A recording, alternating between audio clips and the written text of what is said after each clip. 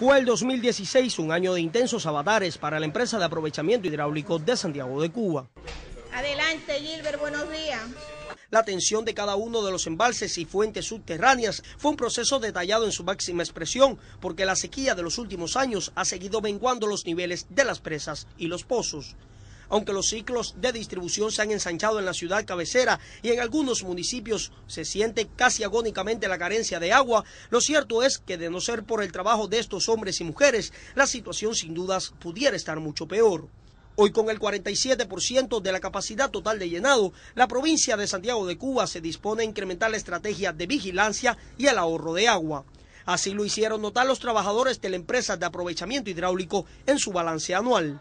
En el informe hecho público, la ingeniera Julia Omar Rodríguez, directora de la empresa, expresó que para este año hay una aprobación de 268.492 millones de metros cúbicos, destinados fundamentalmente a acueducto, el Ministerio de la Agricultura y al sector azucarero, cifra que puede variar si la lluvia se resiste a llegar. Fue este un momento también para reconocer a la unidad básica empresarial electromecánica, única de su tipo en Cuba, y cuyos trabajos permitieron llevar a cabo las obras de mantenimiento en las presas y brindar además su ayuda al municipio de Baracoa tras el paso del huracán Matthew.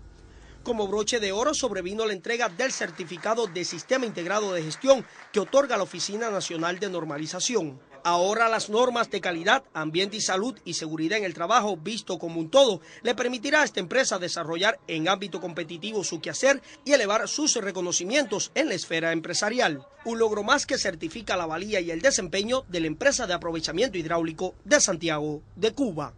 Israel Hernández Planas, Sistema Informativo de la Televisión Cubana.